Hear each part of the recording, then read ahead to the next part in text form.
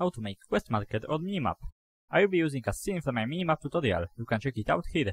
Make a prefab which will be your marker on the map. Add object to the scene which will be your objective position. Create two scripts.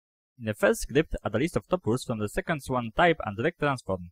Add public fields which will hold your prefab, player, and minimap UI object. Initialize list in awake method. Add a method which will add a new objective.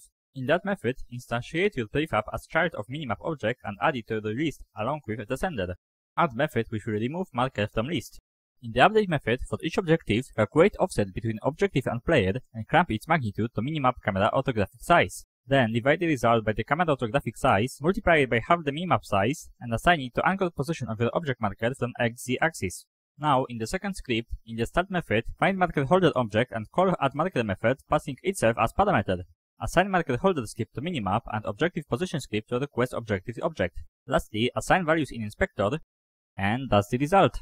You can integrate this with a quest log if you want. If you find this useful, consider subscribing.